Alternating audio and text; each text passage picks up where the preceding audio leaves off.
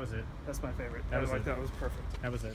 Hey guys, thank you so much for watching that video. This was a huge collaboration between myself and my best friend Adam Trapp. We're both parkour athletes, but we both have these very large musical backgrounds. So we've been trying to find something to combine our love for music with our love for parkour, and this is what we came up with. So we hope you enjoyed that video, and if you did, please subscribe for more content every week, and go check out a video of Adam and a video of myself, and I'll see you next week with a new video.